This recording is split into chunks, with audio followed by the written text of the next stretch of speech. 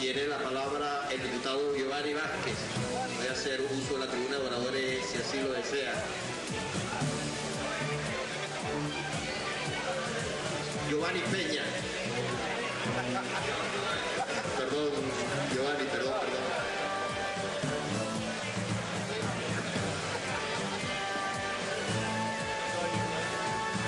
Con respecto a- al personaje que usted mencionó, importante es decir que es abismal la diferencia que pudiésemos tener. Eh, de todas maneras, mi apellido es Giovanni, mi nombre completo es Giovanni José Peña González. Nada